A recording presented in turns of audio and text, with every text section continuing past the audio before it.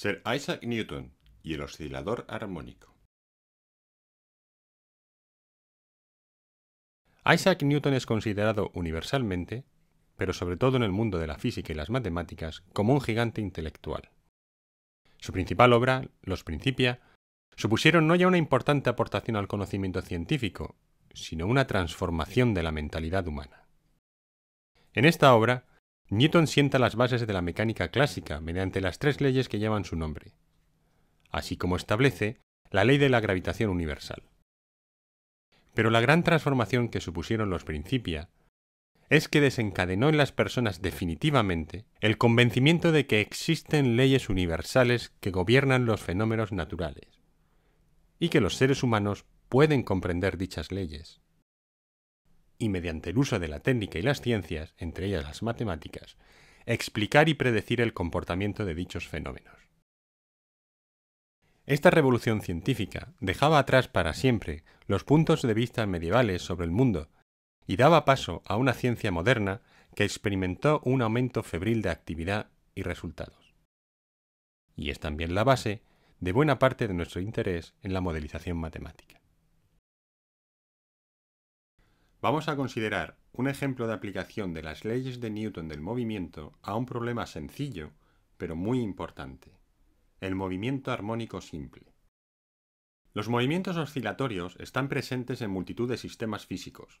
Por ejemplo, un péndulo que se separa de la vertical adquiere un movimiento oscilatorio. Un cuerpo, colocado en un extremo de un resorte estirado una vez que se le permite moverse, oscila alrededor de la posición que tendría si el muelle no se hubiera estirado.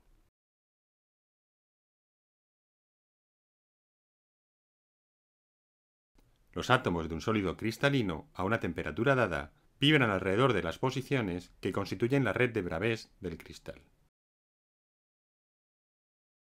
En general, decimos que una partícula tiene un movimiento oscilatorio cuando se mueve periódicamente con respecto a una posición determinada, normalmente una posición de equilibrio. Para ello hace falta que la fuerza total, la resultante de todas las fuerzas que actúan sobre la partícula, sea cero en esa posición de equilibrio.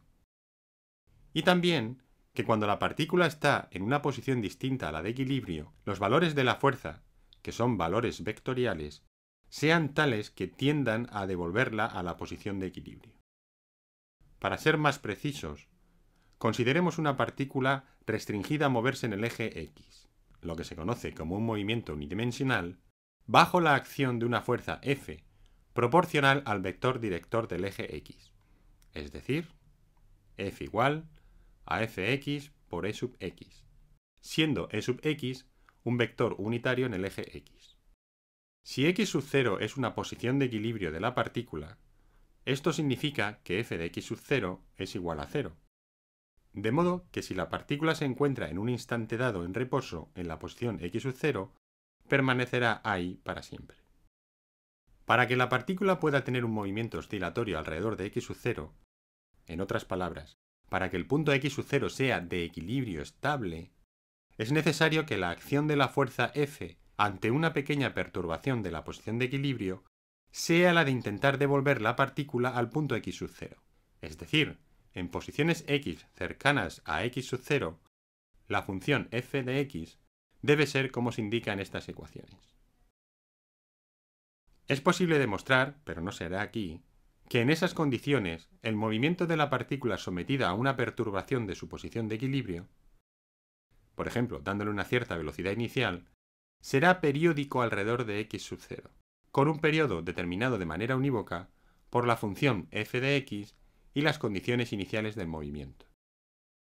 De entre todos los posibles tipos de movimientos oscilatorios, hay uno que es especialmente simple, lo cual permite hacer su estudio analítico sin dificultad. Se trata del denominado movimiento armónico simple. El movimiento armónico simple se define como el movimiento de una partícula sobre la que actúa una fuerza que varía con la posición de la forma más simple posible, esta.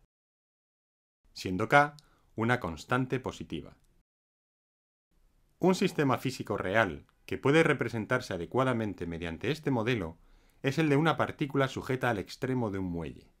cuyo otro extremo está fijo y donde todo el sistema reposa sobre una superficie sobre la que puede moverse sin fricción. Si la deformación del resorte no es demasiado grande, se cumple con muy buena aproximación la conocida como ley de Hooke. Robert Hooke fue un contemporáneo de Newton, con el que mantuvo una tremenda rivalidad, y que enunció el principio conocido actualmente como ley de Hooke.